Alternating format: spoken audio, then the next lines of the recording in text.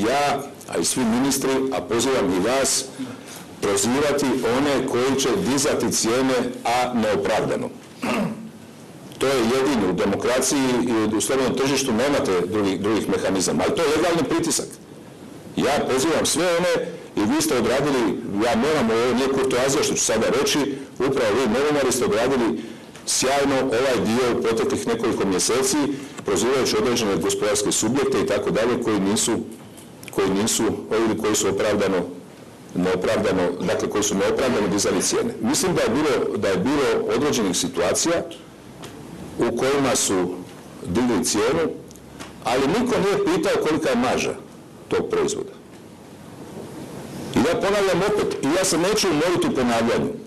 Ne treba svako na svakom proizvodu zaraditi 50%, neki zarađuju i 100%. Može zarada i 10%. Na zapadu je često puta zarada i manja. Prema tome, nije pitanje samo inputa i cijena i tako dalje, nego je pitanje i kolika ti je marža. I tu apeliram i tu ćemo vršiti stalno pritisak i na trgovce i na proizvođače da s maržama ohlade.